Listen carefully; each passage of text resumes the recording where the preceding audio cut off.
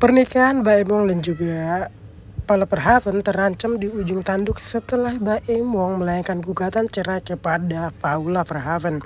Mbak Emong juga menuduh bahwa Paula telah berselingkuh dengan sahabatnya sendiri.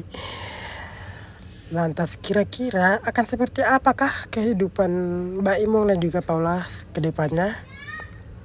Setelah sebelumnya Mbak Emong juga menyatakan keprihatinannya tentang berita ini yang dia tidak ingin bahwa anak-anaknya akan mengetahui tentang hal ini.